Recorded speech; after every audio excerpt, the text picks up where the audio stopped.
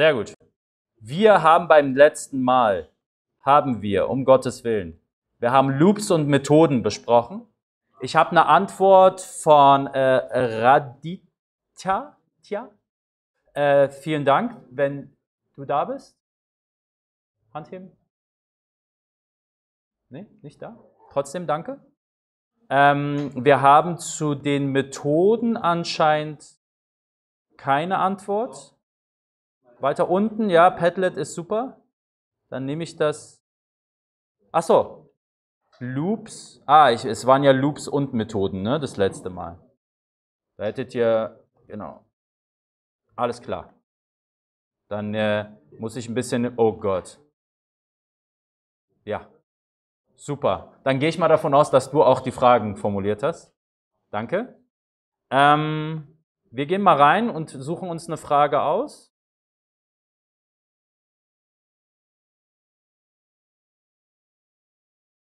Eine Wie funktioniert ist ein bisschen schwer in Kreuzaufgaben, würde ich sagen. Aber ich könnte da andere Antworten geben. Ne? Also ich könnte da Quatschen schreiben. Eine Vorschleife, initialisiert bei jedem Schleifendurchlauf eine Variable, bla bla bla bla, was ja nicht stimmt. Oder ich schreibe die richtige Antwort.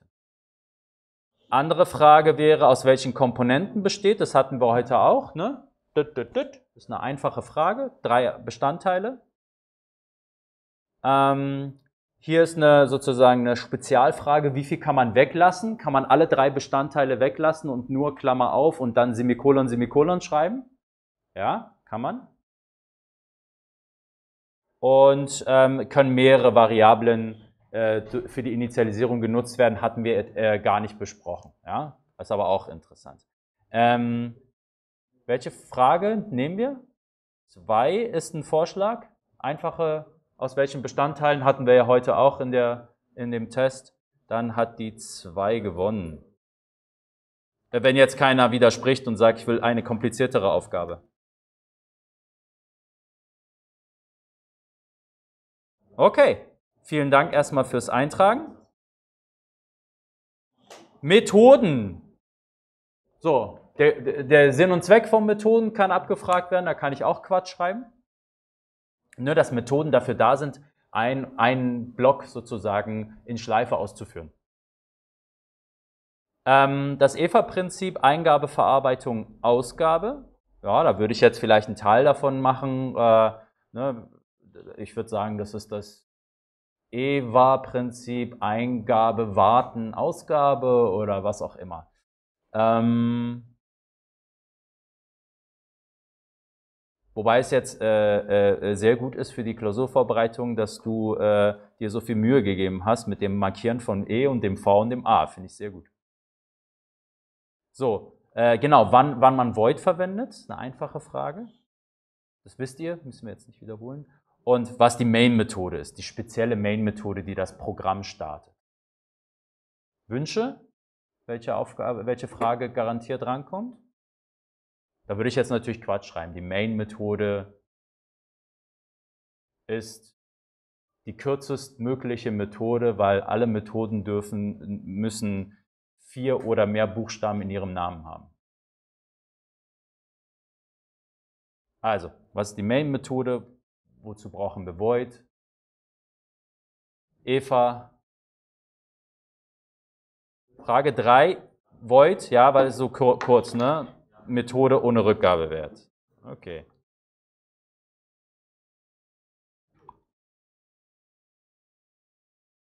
Ich nehme, ihr nehmt ja, ihr müsst ja wissen, was ihr in eurer Klausur haben wollt. So, dann schauen wir mal, wer der Glückliche ist, zur Zusammenfassung, viel haben wir nicht, zu äh, 2D-Arrays. Cenk. Wo bist du? Super. Und dein Fallback?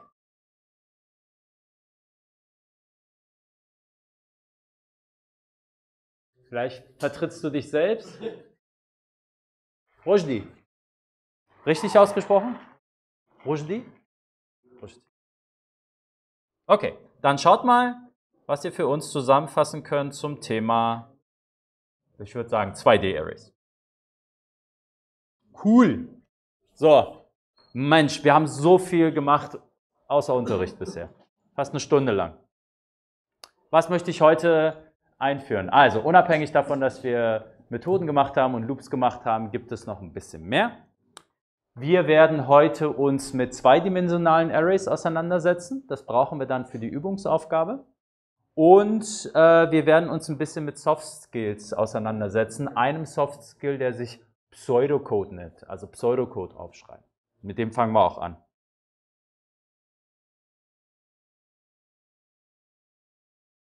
Die 2D-Arrays münden dann in zwei neuen Schlüsselbegriffen, Break und Continue, womit wir Schleifen irgendwie unterbrechen können, kontrollieren können auf eine neue Art und Weise. Also nicht nur mit der Schleifenbedingung, sondern auch mit diesen zwei, zwei Schlüsselbegriffen. Okay, die Wiederholung ist jetzt für die Folien. Wir haben jetzt genug Wiederholung, glaube ich, gemacht. Das wäre jetzt die Methodenwiederholung. Pseudocode. Also, wenn ich vor einem Problem stehe, welches mein Gehirn nicht erfassen kann, oft ist es bei mir irgendwas mit Kalender, Zeit, irgendwas, was ich in der Software abbilden muss, wo es Zeit von bis und Überschneidungen, stellt euch vor, ihr wollt ein Kalenderprogramm machen und Termine überschneiden sich und so weiter. Manchmal sind es auch andere Dinge, die ich abbilden will. Dann greife ich manchmal zu Stift und Zettel. Das ist dann so der besondere Moment, wo ich nicht mehr sozusagen nicht mehr weiß, wie es weitergeht. Ich muss zwei Schritte zurück und das Problem mir mal aufmalen oder aufschreiben. Oft ist es malen. Ähm, ich bin visueller Typ. Bei mir entstehen immer irgendwelche Kästchen und Linien oder irgendwelche Sachen. Dann mache ich das wieder weg und mal das neu. Der Computer ist meistens zu langsam dafür, weil man ja viel einfacher mit einem Blatt Papier rumzeichnen kann. Und oft kommen dann ein paar Sachen bei raus, also Ideen raus oder ich sehe schon Probleme. Das ist eine Art sozusagen Software zu konzipieren, weil oft ist die Lösung klar, also die, das Ergebnis, was rauskommen äh, muss, weiß man sogar, man hat vielleicht sogar ein paar Beispiele. Also man kennt, äh, man kennt eine, äh, das Ergebnis einer Berechnung, aber kennt noch nicht die Formel dazu. Aber man weiß, wenn ich A reingebe, kommt äh, B raus. Ja? Und es geht darum, das dazwischen zu finden. Und wer visuell ist, zeichnet irgendwie visuell das Ganze auf.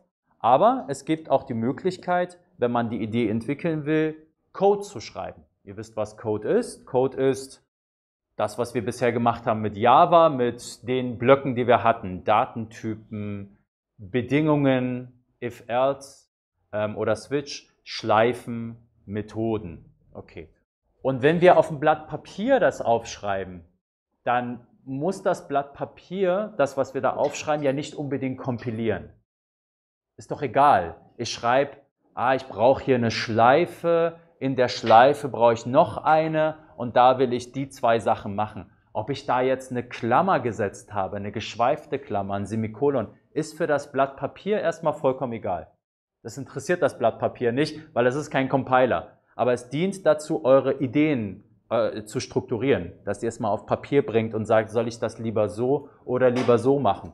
Oft ist das sogar schneller, also man ist schneller, indem man langsamer ist, ne? wie die Schildkröte und der Hase. Ne? Der Hase, der immer sprintet und erschöpft Pause macht und der, die Schildkröte, die ganz langsam, aber kontinuierlich ihre Schritte macht. Wenn man sich einen Plan macht, wenn man ein Konzept macht und ähm, wenn man versucht, die Struktur des Codes aufzuschreiben und kurz nachzudenken, ist das sinnvoll, kann man sich viel Zeit sparen, weil man sich natürlich verlieren kann während des Programmierens in Compile-Fehler und Semikolons und das eigentliche Problem ist nicht mehr sichtbar. Man beschäftigt sich mit anderen Problemen, mit Klammerproblemen, mit Datentypproblemen oder anderen Themen die, die man am Ende sowieso lösen muss, aber die haben mit dem Problem nichts zu tun. Mit dem eigentlichen Problem, mit dem, was man lösen will. Und insofern bietet es sich an, reinzugehen und zu sagen, okay, ich versuche mal ein Problem irgendwie grob zu lösen. Und das Schöne an Pseudocode ist, Ihr könnt euch sogar eure eigene Sprache ausdenken. Ist ja egal. Ihr könnt sagen, bei mir gibt es keine geschweiften Klammern mehr, die nerven mich. Ich möchte das irgendwie anders skribbeln. Ja, bei mir ist irgendwie anders. Ich mache mal Smileys. Oder ich mache gar nichts. Oder ich, ich schreibe das einfach auf so einem karierten Papier, also so ein Kästchen Papier, schreibe ich das einfach leicht eingerückt ein, dann brauche ich diese geschweiften Klammern nicht. Ja, dann spare ich mir das. Aber ihr müsst ja irgendwie das strukturieren. Vielleicht malt ihr auch Blöcke, wie bei diesem Maze. Ihr malt so ein Pac-Man, wo ein Pac-Man drin ist. Okay. Und wenn wir jetzt zum Beispiel ähm, ein, ein, ein, äh, vor einem Problem stehen, wo wir, ähm, wo wir einen Array haben und da wollen wir drüber iterieren und nur wenn es eine Katze ist, wollen wir das in die Konsole drucken. Ja?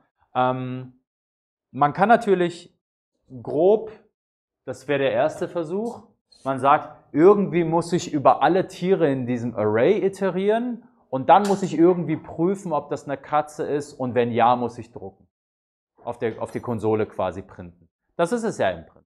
Ja? Irgendwie muss ich iterieren, irgendwie muss ich prüfen, ob es eine Katze ist und dann muss ich irgendwie drucken. Ja? Ähm, und das kann man jetzt in Java übersetzen, schrittweise. Ja? und dann sagst du, prüfen, ob es eine Katze ist, da kenne ich ein Konstrukt. Das nennt sich if. Ja, dann nehme ich mal ein if. Und jetzt habt ihr den zweiten Versuch, habt das vielleicht ein bisschen kon konkretisiert und ihr habt jetzt hier auch zum Beispiel gesagt, ja, das Array ist ein String, das darf ich nicht vergessen. Und ja, wie hat man noch mal Strings verglichen und jetzt ist ja erstmal egal. Ist erstmal für den zweiten Schritt egal, wie man Strings vergleicht. Ich schreibe, wenn hier Katze ist. Ja? Und im dritten Schritt habe ich das immer noch nicht rausgefunden, aber im vierten muss ich dann rausfinden, dass man string.equals schreibt. Aber das ist erstmal nicht wichtig. Punkt equals oder gleich gleich oder was auch immer ist ja, spielt ja keine Rolle für eure Lösung. Das ist erstmal nur, das ist jetzt komplett trivial, aber ihr könnt das Problem angehen und in der nächsten Übung wird es euch helfen, wenn ihr nicht einfach anfangt zu programmieren. Ja? Ich mache das ja nicht umsonst hier. Es gibt auch schlechten Pseudocode. Also dafür wird euch keiner verhaften, wenn ihr auf dem Blatt Papier irgendwas tut, ist ja euers, aber es gibt auch etwas, was euch nicht weiter zum Ziel führt. Ja? Der, der Versuch da, Pseudocode zu schreiben, ist quasi das Ergebnis aufzuschreiben. Äh, mein Programm soll nur Katzen drucken. Das hat euch jetzt dem Ziel nicht näher gebracht. Also ihr braucht irgendwie die Idee von diesen Strukturen, die wir in der Programmierung haben, bisher hatten. Ne? Von Datentypen bis Verzweigungen, bis Schleifen, bis Methoden, bis irgendwas. Ihr müsst ja diese Lego-Bausteine verwenden. Ja? Und ähm, auch der letzte Versuch hier, ja, der, der könnte schon mal ein Hinweis sein, wo ihr hin müsst, aber ihr schreibt ja nicht einen Code, wo ihr sagt, ich gucke mir das erste, dann das zweite, dann das dritte an. Das ist, schreibt ihr nicht. Ihr, ihr benutzt ja am Ende eine Schleife. Es kann ein guter, es kann ein guter Zwischenschritt sein, wenn ihr das sozusagen hinschreibt, was das Programm tun soll. Aber ihr müsst davon abstrahieren. Ihr müsst auf die Idee kommen, eine Schleife zu verwenden. Oder eine Schleife in eine Schleife zu. Das hört auch gleich hier auf, das Thema Pseudocode. Weil ich euch nur daran erinnern will, dass Programmieren ein Folgeschritt von Verstehen ist. Man kann diese zwei Prozesse miteinander verbinden, dass während des Programmierens man versteht und äh, während man programmiert und verändert, ein Gedankenprozess durch den Kopf läuft. Aber dazu braucht man viel Programmiererfahrung. Das wäre jetzt so, ich mache ja mal dieses berühmte Beispiel mit dem Autofahren. Ne? Alle denken, habe ich euch schon mal gesagt, alle denken, dass äh, Autofahren bedeutet, schalten und lenken. Ja, das denkt man immer vor der ersten äh, Stunde, äh, denkt man, oh Gott, dieses Autofahren ist so kompliziert, weil ich muss ja lenken und gleichzeitig schalten und Kupplung drücken und Gas und so. Und dabei merkt man nach der zweiten oder dritten Stunde, dass das nicht Autofahren ist, sondern das ist einfach nur Auto bedienen. Autofahren ist das, was im Straßenverkehr passiert. Das muss man dann aber gleichzeitig tun. Und wenn das Auto Fahren, das Schalten und Lenken die geschweiften Klammern sind und die Vorschleifen schreibt man jetzt for mit Klammer oder ohne. If und else, schreibt man else mit einem E hinten oder nicht. Wenn das sozusagen die Kleinigkeiten sind, wenn das, wenn das das Schalten ist, dann ist das Programm, ob es das Richtige tut, im Straßenverkehr fahren. Ja? Wenn da plötzlich ein Zeichen steht, links oder rechts abbiegen, dann müsst ihr euren Fahrlehrer fragen, lieber Fahrlehrer oder Fahrlehrerin, wo lang soll ich fahren? Weil das müsst ihr fragen während der Prüfung. Ja? Wenn dann nur links oder rechts erlaubt ist, weil vorne quasi eine Autobahnausfahrt ist, müsst ihr links, rechts, dann müsst ihr fragen. Oder Einbahnstraße, wenn ihr links abbiegen wollt, dann könnt ihr nicht die ganze Zeit auf der rechten Seite fahren und dann irgendwie links rüberziehen. Ihr dürft auf der Einbahnstraße euch auch links orientieren. Das ist Autofahren. Ja? Das sind so Kleinigkeiten. Bitte.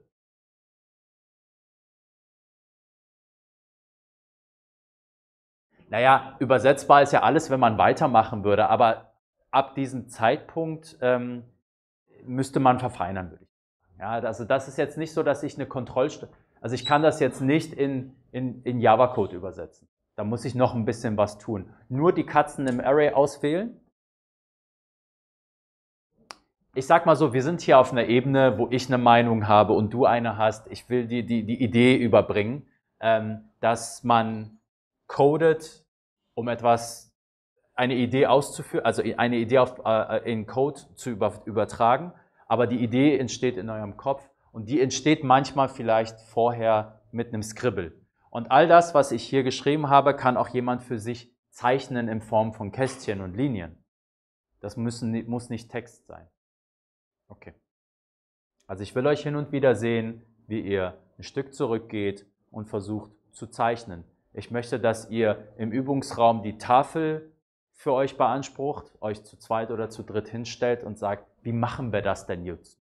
Ja, Interviews werden teilweise so geführt. Ihr könnt ja mal Google Interview oder Amazon Interview oder einfach Interview. Da geht man nicht und codet, sondern man geht an ein Whiteboard und jemand gibt euch ein Problem. Und der Code muss nicht unbedingt kompilieren, er muss nur die richtigen, richtigen Ansatz haben. So ist das mit diesen Soft Skills. Da gibt es kein richtig, kein falsch. Kurze Folie, aber das könnt ihr ein Leben lang falsch oder richtig oder gar nicht machen. Also wer nur codet und nicht einen Schritt zurückgeht, der verpasst eine, eine, eine bestimmte sozusagen Qualität, würde ich mal sagen. Okay, es scheint keine Fragen zu geben, noch könnt ihr nicht viel damit anfangen. In der Übung erinnert ihr euch hoffentlich daran, weil die Übung ist für den einen oder anderen ist das äh, super einfach und er ist kongenial super, aber die meisten müssen sich das so ein bisschen überlegen, wie sie dran arbeiten. So, wir kommen zu 2D-Arrays und jetzt machen wir das ganz, ganz anders als sonst.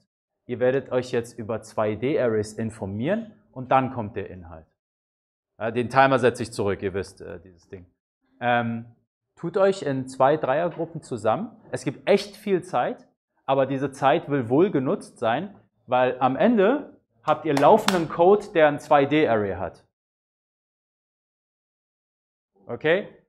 Die Anweisung ist folgende. Also, schaut euch an, zusammen, teilt euch auf oder schaut euch alle gemeinsam an, was sind mehrdimensionale Arrays? Wie, wären, wie werden sie deklariert und initialisiert? Also wie definiert man das in Java und wie füllt man ein zweidimensionales Array in Java? Und dann sind die anderen Fragen noch da. Komm euch.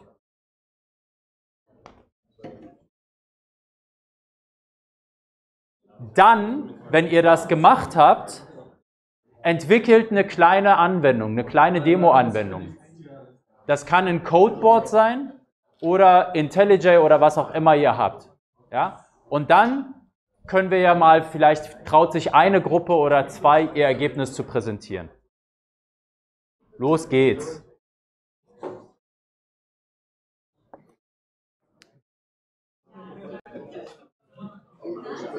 Gracias.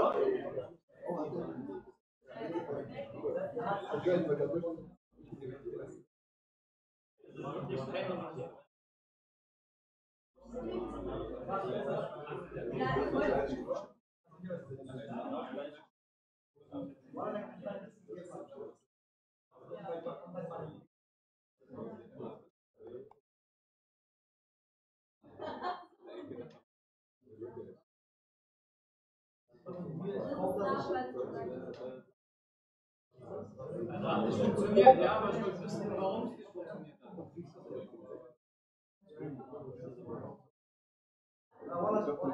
Okay, noch jemand anders?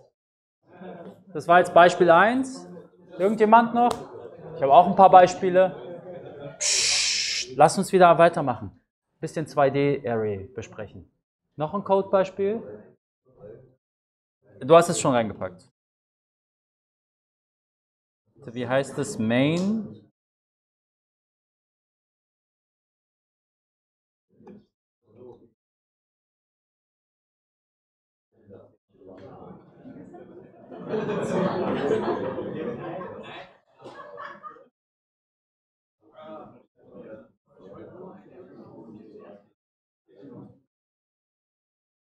Wo habe ich es reingeworfen? Hier.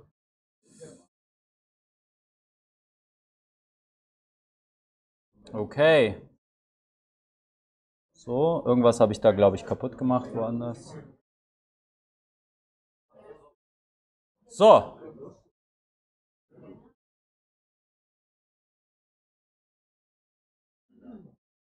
Ist gar nicht, wo euer. Wo ist euer Beispiel hin? Okay, also das Beispiel ist da. So, Jetzt geht es hier voll ab. Super. Also das erste Beispiel hier, was hier reinkommt. Okay. Ähm, ich habe auch noch Folien dazu. Vielleicht äh, sagt ihr uns, äh, wo, wo, die Probleme waren, wie weit seid ihr gekommen, was sollte es tun, was tut es gerade? Also erstmal danke fürs Einreichen. Ja?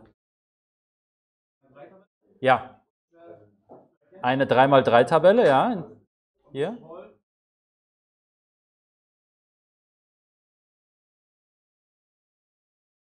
Ja? Okay. Äh, wer hat einen Hinweis, wie würde man bei einem 3x3 das erste Kästchen links oben füllen? Mit 0 erstmal, ne? 0, 0. Das ist schon mal, das haben wir bei Arrays gelernt. Das ist jetzt tatsächlich das zweite, ne? Also was du gemacht hast, wir kommen jetzt, wir gehen langsam, langsam in die Komplexität. Du hast, du, wollt, du hast gedanklich das hier gehabt. Ja. Und äh, das wäre 1,1. Äh, Quatsch. Das wäre 1,1. Okay? Das ist 0,0. Das könnte 0,1 sein. Okay? 0,2. Das wäre jetzt 1,1. Okay. Und dann hast du einen Print gemacht mit dem Array 2D. Da das ist auch gut, wenn man ein Array ausgeben will, kann man nicht einfach den Namen des Arrays nehmen und ausgeben, sondern das gibt nur was Komisches aus. Wir, können wir gleich gucken, was es ausgibt. Irgendwie nur die Adresse im Hauptspeicher. Wenn man ausgeben will, muss man, ist man selbst dafür verantwortlich, quasi durch das Array durchzugehen und Print, Print, Print aufzurufen. Ne? Das heißt, man muss bei dem Array dieses Element aufrufen und dann das und dann das und dann das und dann das und dann das. Und immer wenn man so durchgeht, Print machen. Ja. Das hier, das kann man sich aussuchen, wie man da rangeht. Ob das x, y, y, x. Ich habe jetzt eine Folie, wo ich zeige, wie ich da immer rangehe aber das kann auch 0,1 sein, ähm, je nachdem, wie, wie rum man das Array sieht. Es gibt da kein definitives. Also ihr könnt euch überlegen, ob das x oder y ist.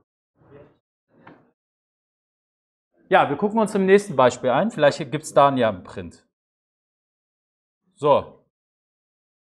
Hier hat jemand äh, eine Main-Methode, die Saft heißt. Hier gibt es ein paar Hinweise. Äh, Klassen in Java, äh, also die, die, die Dinger hier, die sollten einen Großbuchstaben haben.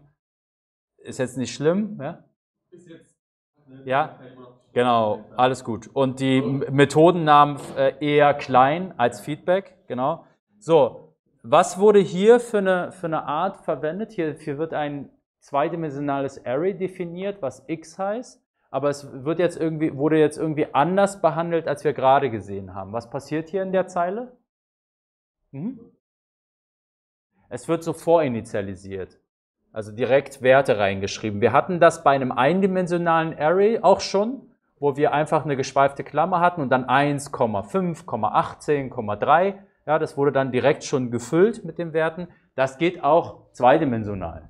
Ja, da macht man eine geschweifte Klammer auf und in dieser geschweiften Klammer macht man geschweifte Klammern auf, weil es zweidimensional ist. Und jetzt kann man hier auch schon sozusagen eine gewisse Struktur sehen. So, was ist dann passiert? Dann ist er komplett durchgedreht. Ja, was ist dann? Bevor wir jetzt in die Details gehen, was denkt ihr, macht der markierte Block? Da steht leider kein Kommentar. Ja, das ist das Wie. Ich will das Was wissen.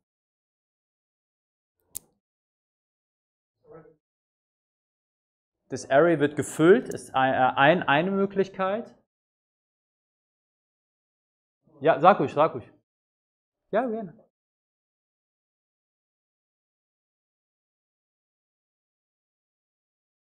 Ja?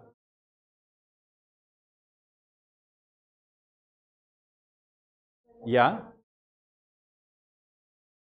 Okay, da bist du auch schon sehr in den Details, wie, wie es gemacht wird. Was wird hier gemacht?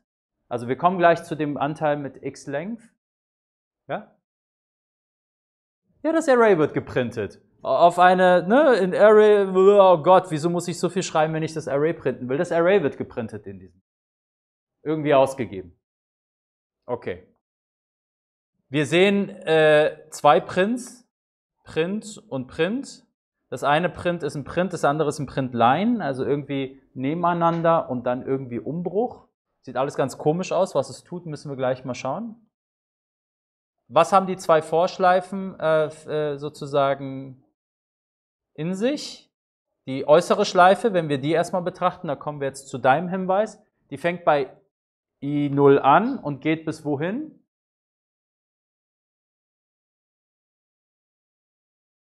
Genau, x Length. Was könnte Length sein? Also, wenn wir hier uns so ein Array angucken, das, da steht ja 1, 2, 3, 4, 5, 6. Der Inhalt ist jetzt 1, 2, 3, 4, 5, 6. Das da unten gibt es gar nicht. Das ist ein 3 mal 2, ne? So sieht das Array aus. Mache das mal so, ich hoffe, das könnt ihr noch sehen. Ja, 1, 2, 3, 4, 5, 6. Und das Array heißt x und x.length. Was könnte das uns geben? Welche Zahl kommt raus bei x.length? 6, eine Theorie. 3, 2, vielleicht 19. 6 war die Idee, dass es mir die gesamte Anzahl von Elementen gibt, die in, in, in beiden Dimensionen drin sind, deswegen 6. 3, weil wahrscheinlich nur die Länge der ersten Dimension. 2, weil jemand gedacht hat, die Länge der zweiten Dimension. Ne, das ist ja ein 3x2-Block. Ne? Richtige Antwort ist die 3. Das ist die erste Dimension. Ja? Äh, Entschuldigung, was habe ich gesagt? Drei? Ist Quatsch, zwei. Die, die äußerste Dimension ist, das sind zwei Zeilen. Und jede Zeile hat drei Spalten. Das heißt, die Antwort 2 ist richtig bei x.length. Das ist sozusagen zwei Zeilen. So. Was bedeutet denn x eckige Klammer auf i Punkt Length. Mhm. Genau, x von i hatten wir in der vorherigen Veranstaltung, ist einfach rausholen eines Elements an der Stelle i. Was für Elemente sind denn in diesem Array? Also wenn das das Array ist, das Äußere, was ist denn der Inhalt von dem Array? Was sind die einzelnen Zeilen vom Typ? Ein Array. Ja? Also, das ist ein Array. Und die Elemente, die da drin sind, sind zwei Arrays. Die wiederum natürlich Zahlen enthalten. Aber wenn wir die Augen zusammenkneifen, so, dann sind das hier zwei Elemente, die jeweils Arrays sind. Das bedeutet,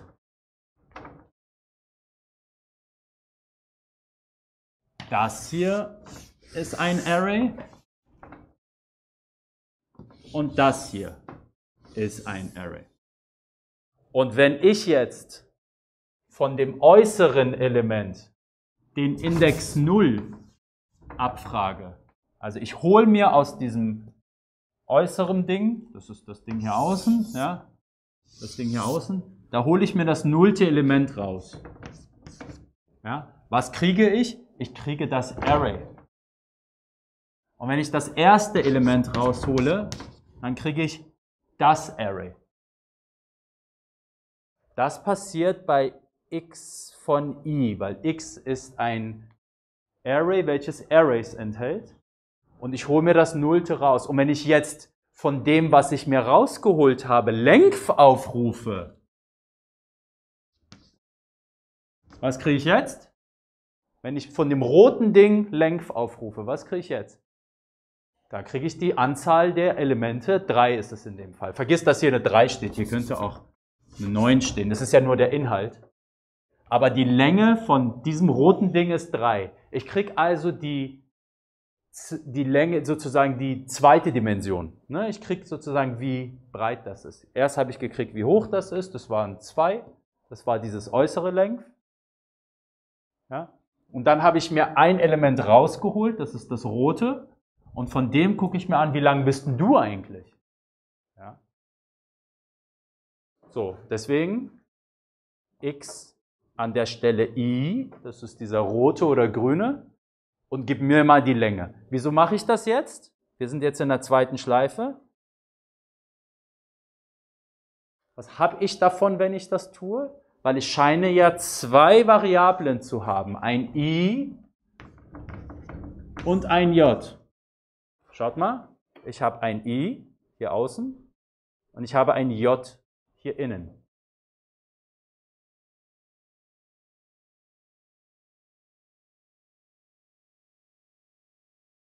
Überleg mal, ja? Wir wollen am Ende quasi ein Koordinaten angeben, ne?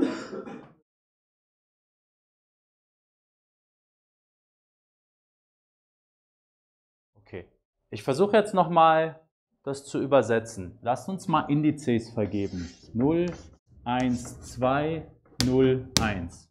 Macht ja Sinn, ne? Hier 0, 1, 2, 0, 1 in die Richtung und in die Richtung. Wenn ich jetzt I und J habe, sagt mir mal, welche Werte I und J einnehmen. Lasst uns mal das Programm im Kopf ausführen. Was wird i als allererstes sein, wenn man in die Schleife reinkommt? Null. So. Was wird, dann sind wir irgendwo bei dieser Initialisierung. Schön. Ja, sind wir da. Dann gehen wir, naja, was, was soll die Schleife tun? Die Schleife soll eine Schleife ausführen. Dann wird als erstes J auf was gesetzt? Auch null. Okay. Also hier 0, ne? Nicht O. So. J ist also 0 und diese innere Schleife läuft. Und denkt daran, Schleifen in Schleifen zu integrieren. Die innere Schleife läuft ja jetzt so vor sich hin und die äußere wartet ganz geduldig, bis die innere fertig ist. Wann auch immer die fertig ist. Ne? Vielleicht ist die auch nie fertig und läuft endlos. Was wird also als nächstes der Wert von J sein? 1. Das bedeutet hier hinten J++, ne, wenn was auch immer hier drin passiert, ignorieren wir mal, die Schleife läuft weiter, weiter, J wird 1. Und I? Irgendjemand hat was? Bleibt 0. Ja, da ist noch nichts passiert. Wir sind ja in der inneren Schleife. Danach J 2 und I 0 Jetzt passiert was anderes, ne? Genau. X, I Length war 3. Erinnert euch, ne? Die Länge von diesem roten Ding ist 3. 0, 1, 2. Die, die innere Schleife wird also beendet hier. Ne? Solange J kleiner als 3 ist. Jetzt ist plötzlich J nicht mehr kleiner. So. Was ist also die nächste Zeile? I wird 1, weil wir das hier beendet haben. Die äußere Schleife darf jetzt wieder eine weitergehen und die erhöht I um 1. Okay. Und J 0. Wieso ist das jetzt schon wieder passiert? Ist doch ein Fehler, oder? Dass J 0 ist. Wieso ist J jetzt plötzlich 0? Ja, aber J war ja gerade noch 2, da steht ja J++, wieso ist es nicht 3? Ja?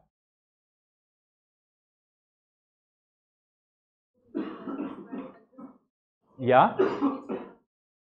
Genau, wo steht, dass es von vorne losgeht?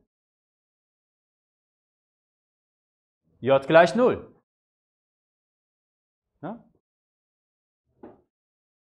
Wieso sagt der Compiler nicht, J ist bereits definiert? Du kannst nicht noch einen J definieren. Richtig. Jede Variable existiert in, in dem Block, der sie umgibt. Wenn die Vorschleife beendet ist, die hier, dann wird das J zerstört. Das nächste J ist gleich, aber nicht identisch mit dem anderen J. Das ist einfach ein neues J, weil das J gibt es ja nicht mehr. Deswegen darf man immer wieder dieses J verwenden. Ne? Deswegen steht da int J. Okay, das heißt, wir gehen hier weiter und jetzt wird es interessant. Hier steht 0, 1, 2, 1, 1. So, was haben wir hier gemacht? Mein Finger wird jetzt geführt. Das ist unser Koordinatensystem, 0, 0. Und dann geht der Finger wohin? Nach rechts oder nach unten? 0, 1. 0, 2. Und jetzt? 1, 0. 1, 1, 1, 2. Wir haben eine Methode gefunden, durch ein zweidimensionales Array durchzugehen mit zwei Schleifen. Für den einen oder anderen war es klar, indem sie oder er einfach diesen Kauderwelsch da gesehen hat. Für mich manchmal nicht. Aber das hier ist eine Methode durchzugehen. Jetzt, jetzt habe ich mal eine Frage. Ich bin ja jetzt so lang gegangen. Was ist, wenn ich Lust habe, so lang zu gehen? Könnt ihr euch ja mal überlegen. Es könnte ja auch sein, dass ich sage, ich möchte gerne 1, 4, 2, 5, 9, 6 ausgeben. Ja? Da kann man bestimmt was machen mit Austauschen der Schleifen und I und J. Genau. Aber das könnt ihr euch ja mal überlegen, wie ihr das macht. In der nächsten Aufgabe, in der Übungsaufgabe mag es Sinn machen, mal so oder mal so durchzugehen. Ja? Ähm, welche Möglichkeiten gäbe es noch, durch dieses Array durchzugehen? Vom letzten rückwärts gehen. Welche gäbe es noch? Zufällig, auch super, ja, zufällig. Bis ich alle irgendwann getroffen habe, ja? Ja, das ist das Wie, aber die Frage war, wie, wie ich sozusagen durchnavigiere dadurch. Ich könnte auch sowas hier machen.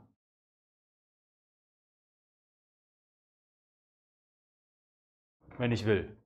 Wenn das Sinn macht für meinen Anwendungsfall. Ne? Also wenn ich ein, eine Matrix habe, kann ich auch schräg durchgehen oder so schräg durchgehen. Keine Ahnung. Ja? All das, wenn man es machen will, ist nur eine Frage von, wie kann ich Is und Js generieren, die richtig sind. Ne? Für diesen Weg müsste ich ja generieren 0, 1, 0, 0, 1, 1, 0, 1. Also wenn ich das schaffe, irgendwie Is und Js zu generieren, die das tun, dann laufe ich auch so durch. Okay. Das war jetzt, ja?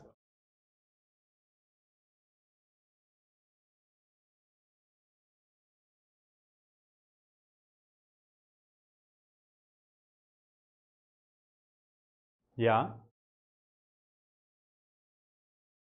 Bei i, wieso wir 1, 1, 1 haben?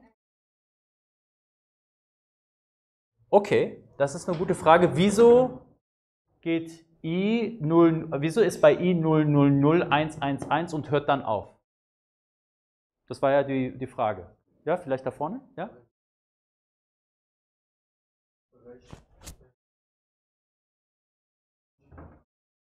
Genau. Okay, also i geht von 0 bis zur Länge von x. Und wenn x das ganze Ding ist, dann sind da zwei Elemente drin. Das ist ein Element, ist ja egal, was das ist. Und das ist das zweite Element. Also ist i.length eine 2. Da sind einfach zwei Dinge drin. Könnten zwei Integer sein, zwei Strings sein oder was auch immer. Das sind zwei Dinge da drin. Deswegen geht i von 0 bis 1. Es beginnt bei 0, 1, hört dann auf.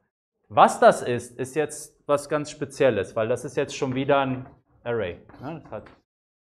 Das ist jetzt eigentlich nur, was ganz normal bei Arrays funktioniert, ist das Außen. Ich iteriere über ein Array und gehe alle Elemente durch. Hier sind jetzt einfach nur zwei Elemente. Gut. So. Was auch immer da ausgegeben wurde, könnte er dann ausführen im Codebot. Hier hat jemand auch Spaß mit XOXO. Das sieht aus wie Tic-Tac-Toe.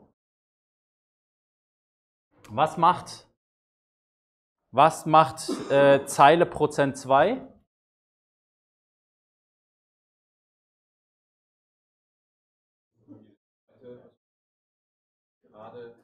Genau, da geht es um gerade und ungerade Zahlen, Modulo, ne? Das ist eine gerade Zahl, das ist eine ungerade Zahl. Und dann ist wieder Spalte, Zeile. Hier sind interessante Benennungen. Hier hat jemand im Kopf eine Tabelle gehabt mit Zeilen und Spalten. Und hat sich dann überlegt, muss ich auch erstmal verstehen, ähm, ich habe einen Kritikpunkt an dieser 8. Wieso? Hardcoding. Was bedeutet Hardcoding? Also ich mache das mal gerne größer, aber ich habe einen Kritikpunkt. Was habe ich rausgezogen? Das HDMI-Kabel. Also nur kurzfristig, ne? Okay, Entschuldigung. Gibt es genug Kabel? Also diese 8, ich weiß nicht, ob man die hinten sehen kann. Diese äh, kleine 8 und diese kleine 8, die halte ich für verbesserungsfähig. Wieso?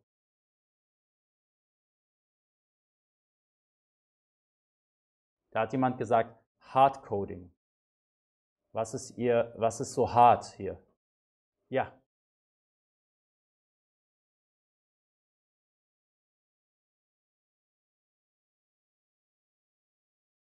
Genau, also wenn ich hier eine 9 eintrage und einfach das Programm ausführe, dann wird das hier nicht berücksichtigt. Wieso nicht?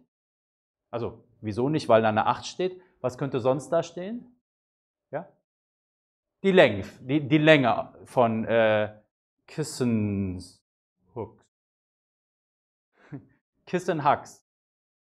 Äh, aber bei den Engländern heißt es, glaube ich, Cross and Knots oder sowas. Crosses and Knots. Tic-Tac-Toe. Ähm, genau, also hier sozusagen ist die, der, das Programm nicht flexibel, was die Größe von, dem Spiel, von der Spielfläche angeht. Ähm, hier könnte man die Länge nehmen, also Kissen-Hux Length. Und hier würde man Kissen-Hux an der Stelle Zeile Punkt Length nehmen. Dasselbe, was wir gerade hatten. Okay, spannend.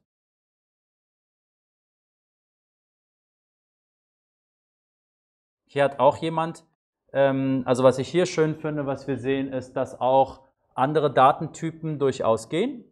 Muss nicht Integer sein, können hier verschiedene Datentypen in zweidimensional. Ähm, und hier scheint es mir, wenn ich hier so hingucke, wie so eine Art Abbildung zu sein. Ne?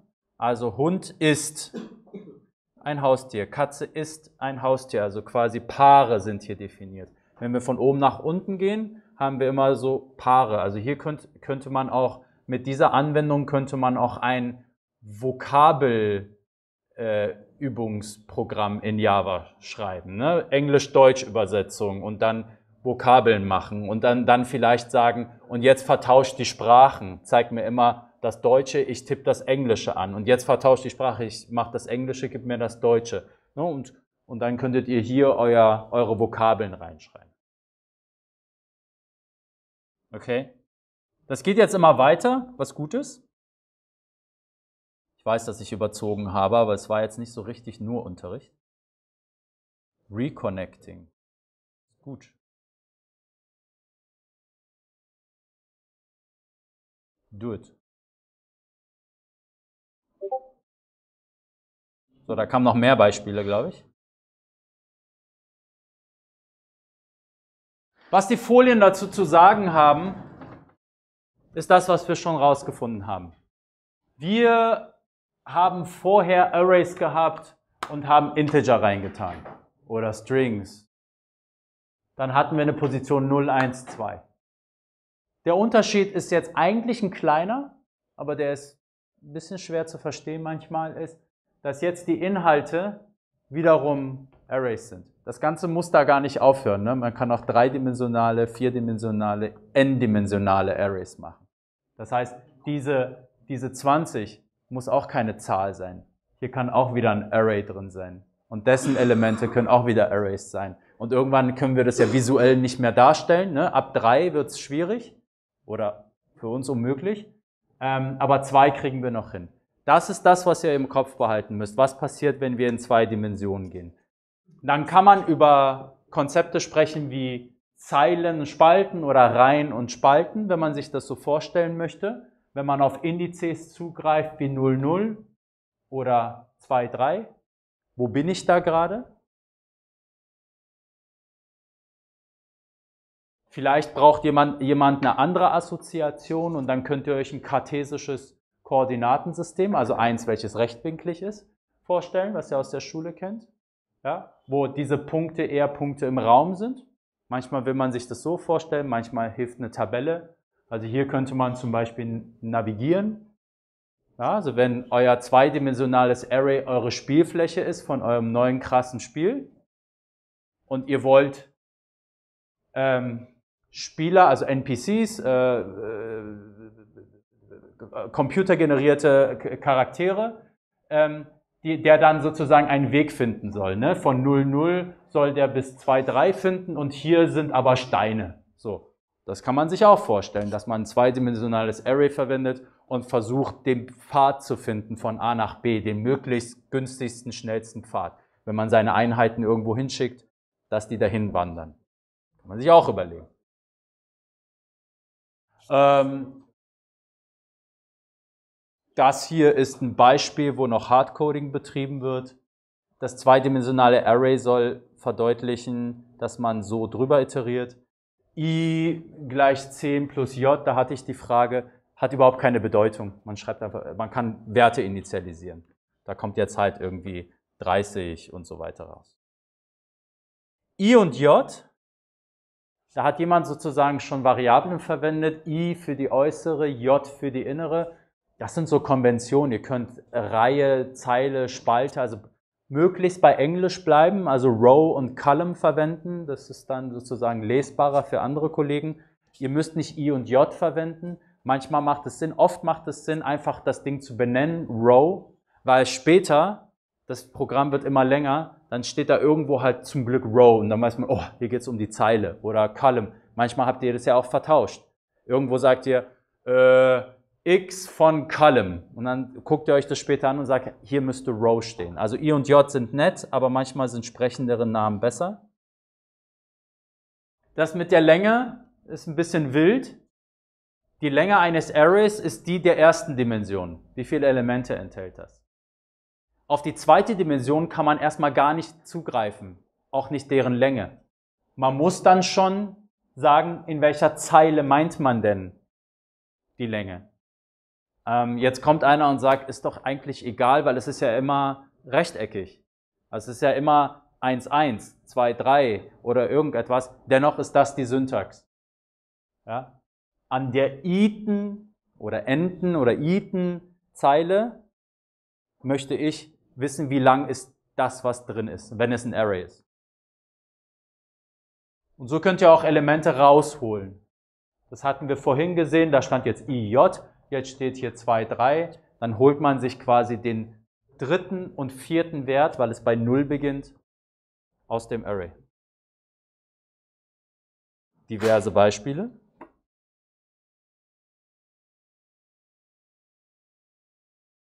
Und jetzt, ähm, also das braucht ihr, das werdet ihr auch üben in der Übung. Da geht es darum, äh, der eine oder andere hat es vielleicht aus dem letzten Semester noch im Kopf oder schon gehört. Es geht darum, dass äh, ich euch Sudoku-Lösungen ähm, gebe und ihr bewertet, ob die Lösung korrekt ist. Ich in der Übungsaufgabe steht nochmal, wie Sudoku funktioniert, aber das, Sudoku ist ja ein zweidimensionales Problem, ja, wenn ihr euch daran erinnert. Und ich gebe euch Lösungen und ihr bewertet, ob die Lösung korrekt ist. Was ihr nicht machen müsst, ist die Lösung finden. Das wäre eine andere Programmieraufgabe, dass ich euch ein unfertiges Sudoku gebe und euer Programm die Sudoku-Lösung findet. Ich gebe euch eine Lösung, ihr müsst kontrollieren, äh, ihr müsst bewerten, ob die richtig ist. Letzter Punkt hier für die Einheit ist, ich habe euch angelogen.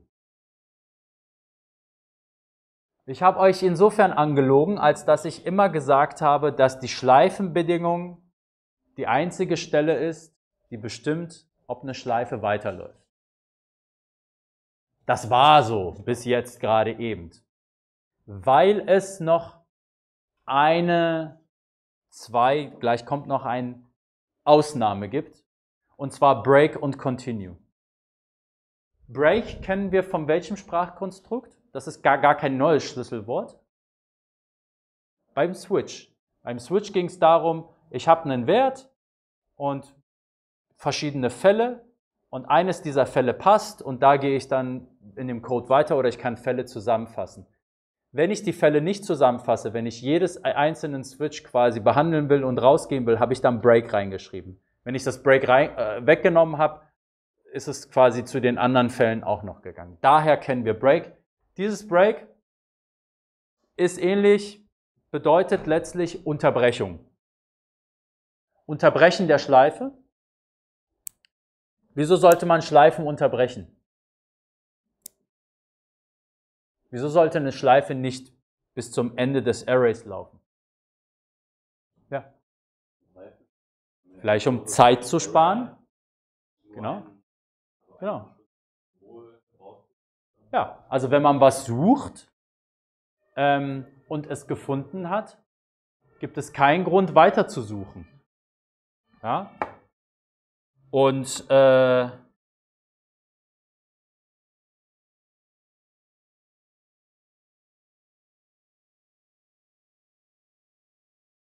genau. Das ist zum Beispiel ein Grund, Schleifendurchläufe vermeiden. Manchmal ist es aber auch, wenn man etwas auf der Konsole ausgibt, printet und man ist fertig, weil man nur die ersten sieben Zeichen ausgeben will, dann kann man auch einen Break schreiben, ja. Genau, genau. Man könnte sozusagen eine Schleife bauen für, die, für, für das Spiel, dass es im Schleife läuft, bis man stirbt, bis der Score kleiner gleich null ist und dann bricht man die Schleife ab, damit beendet sich die, äh, das Spiel zum Beispiel. Okay. Break könnt ihr jederzeit schreiben in der Schleife. Was passiert ist, dass die Schleife unterbrochen wird. Es wird nicht mehr inkrementiert. Hier passiert gar nichts mehr. An der Stelle wird die Schleife verlassen. Wo geht's weiter? Was denkt ihr? Ja.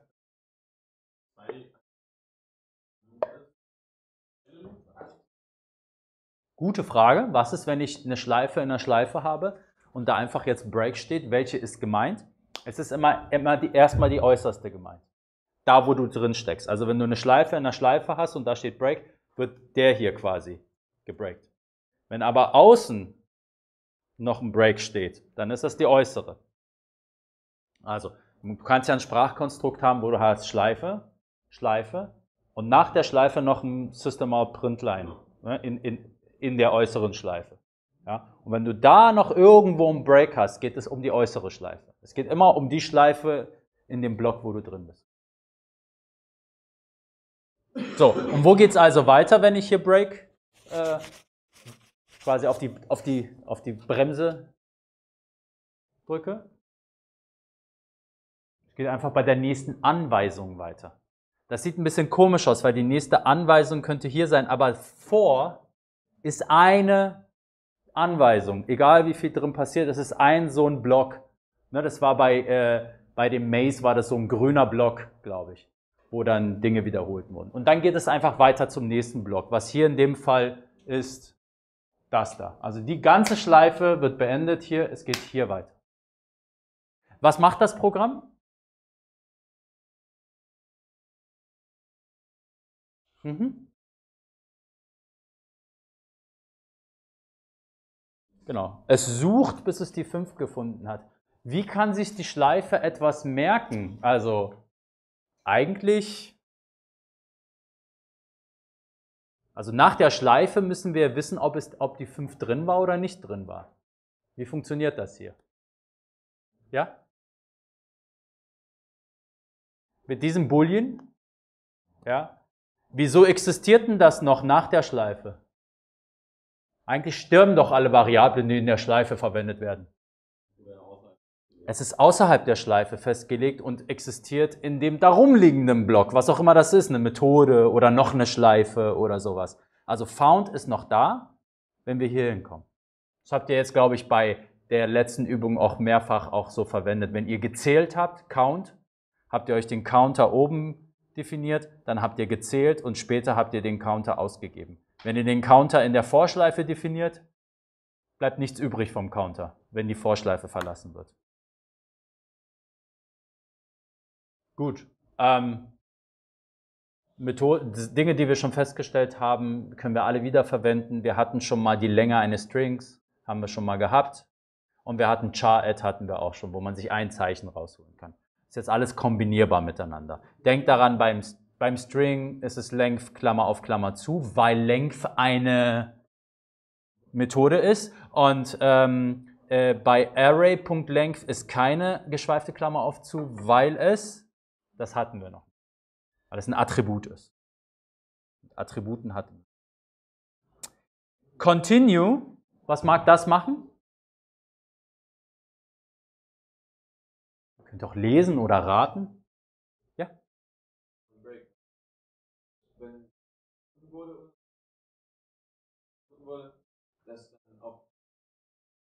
Ja, weil normalerweise wird ja immer continued. Also continue heißt ja nur weitermachen.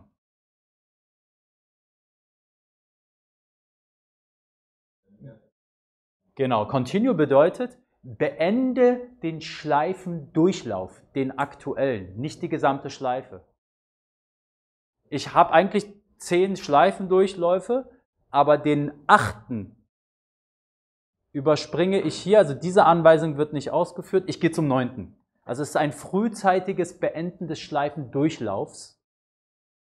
Und Break ist ein frühzeitiges Beenden der gesamten Schleife, egal wie viel. Ne? Continue sagt nur, ich habe ein A hier gefunden, also wenn es kein A ist, dann zähle es nicht. Das bedeutet das. Ich zähle ja immer, wie viele A's hier drin sind. Ne?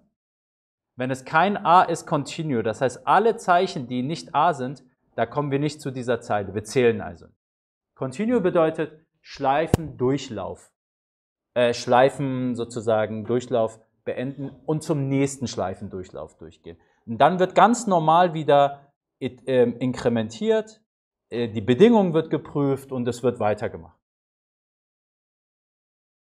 Nö, machen wir nicht. Oder genug Gruppenprogrammierung. Wir hätten jetzt, äh, wir haben bis 11.45 ne? Wir machen jetzt mal eine Pause. Ihr habt jetzt lange gehört. Bis wann machen wir Pause? Es ist 10.33. Wie lange braucht ihr? Viertelstunde oder 10 Minuten? Viertelstunde? Ja. Dann machen wir um 45 weiter, okay? 11.30 Uhr ist okay, wir schaffen noch ein bisschen was. Bis 45 bitte. Okay, Dankeschön fürs Mitmachen.